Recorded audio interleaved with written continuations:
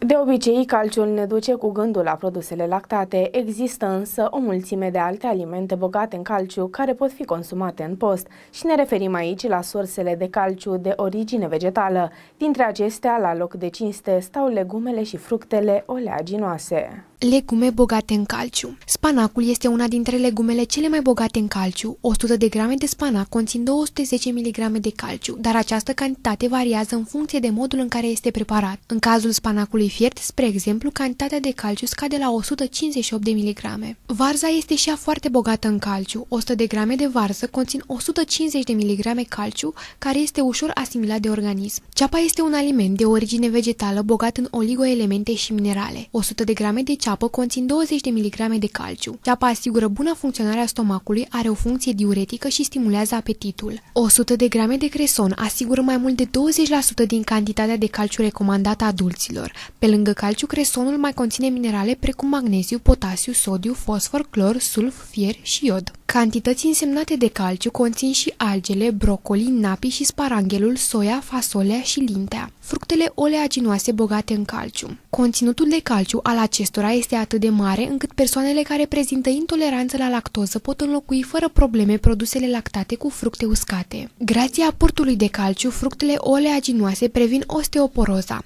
Calciul menține oasele în bună stare și previne fragilitatea lor. În cazul copiilor, consumul acestui tip de fructe asigură o creștere armonioasă. Pe lângă calciu, fructele oleaginoase mai conțin omega-3 și potasiu. Migdalele conțin 240 de mg de calciu la 100 de grame. Nucile au doar 170 de mg de calciu la 100 de grame, în timp ce alunele 140 de mg de calciu, iar fisticul 110 mg de calciu la 100 de grame, relatează cugetliber.ro.